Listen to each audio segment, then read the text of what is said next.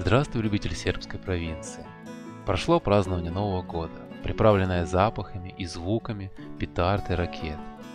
И вот теперь время для праздника, который совершается в тишине, но от этого он становится еще более значимым. В нем нет места ни шуму, ни гамму, все замирает в ожидании. И, конечно, эти дни наполнены своими традициями в Сербии. Я расскажу о самых основных сторонах празднования Рождества Христова. Порядок празднования. Некоторые детали могут отличаться от села до села, но общее представление о традиции встречи Рождества вы будете иметь. Итак, сочельник или день накануне Рождества в Сербии называется Бадний Дан. Дан – это день, а слово «бадний» – «бадник» происходит от названия одного вида дуба – бадняк. Его особенность в том, что листья, высыхая на осень, не опадают на землю, а остаются на ветвях, шелестя на ветру целую зиму. Поэтому одна из задач сочельника – это пойти в лес и срубить рождественское дерево, бадняк, и принести домой, поставить у порога, не внося в дом. Здесь он будет дожидаться своего часа.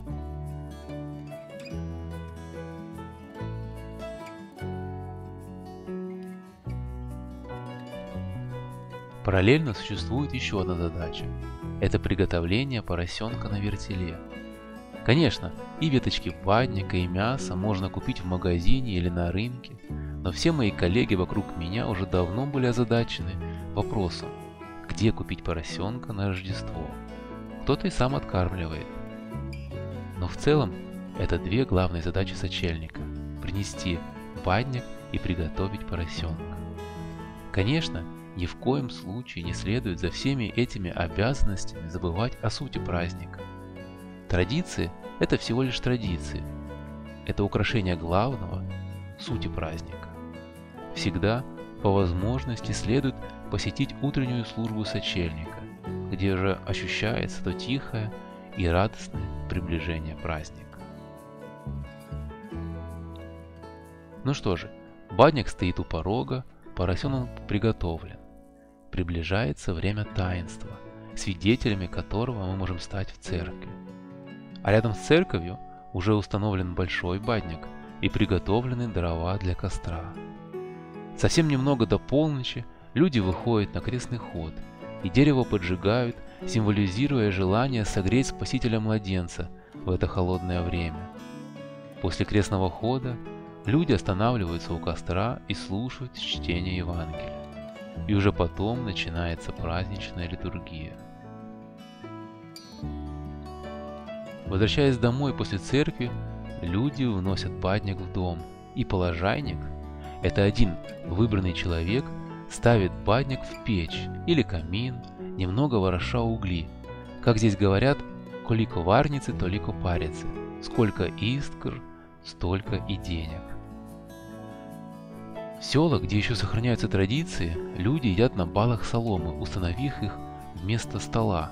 Я видел такое только один раз, это в начале моей жизни в Сербии.